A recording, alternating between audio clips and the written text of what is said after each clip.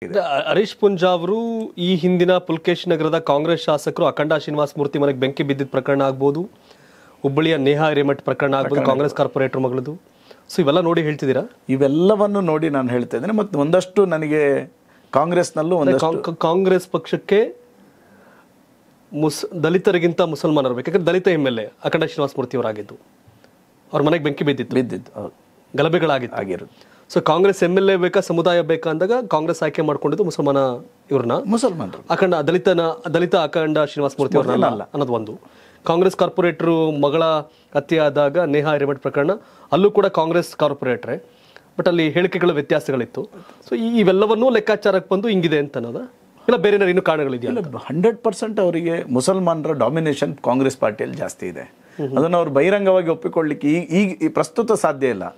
ಆದ್ರೆ ಯಾವಾಗ ಬಹಿರಂಗವಾಗಿ ಒಪ್ಪಿಕೊಳ್ತಾರೆ ಸೊ ಅಂತ? ಹಾಗೆ ಹೇಳೋದಾದ್ರೆ ನೀವು ಹೇಳ್ತಿರೋ ಪ್ರಕಾರ ಸಂಖ್ಯೆ ಜಾಸ್ತಿ ಆದಂಗಾರೆ ಜಮೀರ್ ಅಹಮದ್ ಖಾನ್ ಮುಖ್ಯಮಂತ್ರಿ ಆಗ್ತಾರೆ. ಡಿ ಕೆ ಶಿವಕುಮಾರ್ ಯಾಕೆ ಆಗ್ತಾರೆ. ನೋಡಿ ನಿಮಗೆ ಒಂದು ವಿಷಯ ಹೇಳ್ತೇನೆ. ಜಮೀರ್ ಅಹಮದ್ ಖಾನ್ ಮುಖ್ಯಮಂತ್ರಿ ಆಗುವ ಕಾಲಘಟ್ಟ ಮುಸ ಕಾಂಗ್ರೆಸ್ನ ಮೆಜಾರಿಟಿ ಬಂದಂಥ ಸಂದರ್ಭದಲ್ಲಿ ಜಮೀರ್ ಅಹಮದ್ ಖಾನ್ ಅಂತ ಹೇಳೋದಿಲ್ಲ. ಯಾವುದೋ ಒಬ್ಬ ಮುಸಲ್ಮಾನ ಒಂದು ರಾಜ್ಯದಲ್ಲಿ ಕಾಂಗ್ರೆಸ್ ಮೆಜಾರಿಟಿ ಬಂದಾಗ ಮುಸಲ್ಮಾನ ಮುಖ್ಯಮಂತ್ರಿ ಆಗುವಂಥ ಕಾಲಘಟ್ಟ ಬರ್ತದೆ. ಉದಾಹರಣೆ ನಾನು ಹೇಳ್ತೇನೆ. ಕೇರಳದಲ್ಲಿ ಮುಸ್ಲಿಂ ಲೀಗ್ ಯಾಕೆ ಹುಟ್ಟುಕೊಂಡಿತ್ತು? ಕೇರಳದಲ್ಲಿ ಕಾಂಗ್ರೆಸ್ ಜೊತೆ ಇದ್ರು ಮುಸಲ್ಮಾನರು. ಯಾವಾಗ ಕಾಂಗ್ ಕೇರಳದಲ್ಲಿ ಮುಸಲ್ಮಾನರ ಜನಸಂಖ್ಯೆ ತರ್ಟಿ ಫೈವ್ ಪರ್ಸೆಂಟ್ ಎಬೋವ್ ಆಯ್ತು ಕಾಂಗ್ರೆಸ್ ಅನ್ನು ಬಿಟ್ಟರು ಅವರು ಅವರು ಮುಸ್ಲಿಂ ಲೀಗ್ ಮಾಡ್ಕೊಂಡ್ರು ಅವರು ಹಾಗಾದ್ರೆ ನಿಮ್ಮ ಹೇಳಿಕೆ ಅರ್ಥ ಮುಸಲ್ಮಾನರ ಸಂಖ್ಯೆ ಹೆಚ್ಚಾದಷ್ಟು ಅದು ಕಾಂಗ್ರೆಸ್ಗೆ ಹೊಡ್ತಾ ಅಂತ ನೀವು ಹೇಳೋ ಕೊಟ್ಟಿದ್ದೀರಿ ಮುಸಲ್ಮಾನರ ಜನ್ ಜನಸಂಖ್ಯೆ ಜಾಸ್ತಿ ಆದ ಹಾಗೆ ಆದಾಗೆ ಕಾಂಗ್ರೆಸ್ ವಿನಾಶದತ್ತ ಹೋಗ್ತದೆ. ಬಿಜೆಪಿಗಿಂತ ಜಾಸ್ತಿ ಹೊಡ್ತಾ ಕಾಂಗ್ರೆಸ್ಗೆ ಅಂತ. ಬಿಜೆಪಿ ಹಿಂದುತ್ವದ ಪಾರ್ಟಿ. ಈ ದೇಶದ ಹಿಂದೂಗಳ ರಕ್ಷಣೆಗೆ ಬದ್ಧತೆ ಇರತಕ್ಕಂಥ ಪಾರ್ಟಿ ಯಾವ್ದು ಕೇಳಿದ್ರೆ ಅದು ಬಿಜೆಪಿ.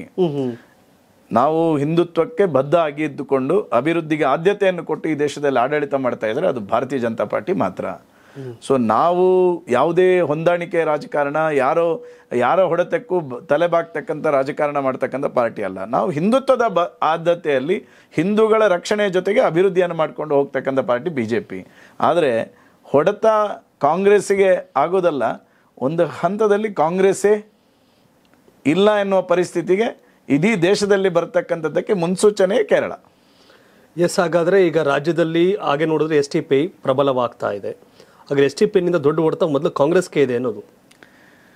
ನೋಡಿ ಇವತ್ತು ನಿಮಗೆ ಕಾಂಗ್ರೆಸ್ ಮತ್ತು ಎಸ್ ಡಿ ಪಿ ಐ ಹೊಂದಾಣಿಕೆಯಲ್ಲಿ ಹೋಗ್ತಾ ಇದ್ದಾರೆ. ಹೌದು. ಯಾಕಂದರೆ ಜನಸಂಖ್ಯೆ ಕಡಿಮೆ. ಒಂದು ಸಲ ಜನಸಂಖ್ಯೆ ಜಾಸ್ತಿ ಆಗಲಿ ಕಾಂಗ್ರೆಸ್ನ ಜುಟ್ಟು ಎಸ್ ಡಿ ಪಿ ಅವ್ರ ಕೈಯಲ್ಲಿರುತ್ತೆ.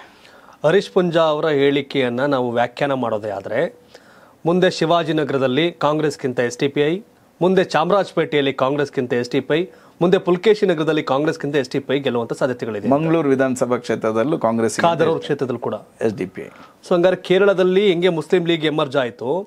ಹೈದರಾಬಾದ್ನಲ್ಲಿ ಒವೈಸಿ ಪಾರ್ಟಿ ಎಮರ್ಜ್ ಆಯಿತು. ಅಸ್ಸಾಂನಲ್ಲಿ ಬದ್ರುದ್ದೀನ್ ಅಜ್ಮಲ್ ಅವ್ರ ಪಾರ್ಟಿ ಹೆಂಗೆ ಎಮರ್ಜ್ ಆಯಿತು? ಜಮ್ಮು ಕಾಶ್ಮೀರದಲ್ಲಿ P D P N C ಹೆಂಗೆ ಎಮರ್ಜ್ ಆಯಿತು? ಆ ರೀತಿ ರಾಜ್ಯದಲ್ಲೂ ಕೂಡ ಕಾಂಗ್ರೆಸ್ಗೆ ಹೊಡ್ತಾ ಆಗುತ್ತೆ ಈ ಬೆಳವಣಿಗೆ? ಮೊದಲು ಕಾಂಗ್ರೆಸ್ ಅವ್ರು ಎಚ್ಚೆತ್ಕೋಬೇಕು ಅಂತ ಹೇಳಕ್ ಕಾಂಗ್ರೆಸ್ ಕಾಂಗ್ರೆಸ್ನಲ್ಲಿರ್ತಕ್ಕಂಥ ಹಿಂದೂಗಳು ಎಚ್ಚೆತ್ಕೊಳ್ಬೇಕು. ಈ ದೇಶದ ಈ ರಾಜ್ಯದಲ್ಲಿ ಹಿಂದುತ್ವ ಹಿಂದೂಗಳು ಉಳಿಬೇಕಾದ್ರೆ ನೀವು ನಿಮ್ಮ ಪಾರ್ಟಿಯ ಒಳಗಡೆನು ಹಿಂದುತ್ವಕ್ಕೆ ಪ್ರಧಾನತೆಯನ್ನು ಕೊಟ್ಟು ನೀವು ಪಾರ್ಟಿಯನ್ನು ನಿಮ್ಮ ಪಾರ್ಟಿಯಲ್ಲಿ ಇದ್ರೆ ನಿಮ್ಮ ಪಾರ್ಟಿನೂ ಉಳಿತದೆ ಹಿಂದುತ್ವನೂ ಉಳಿತದೆ.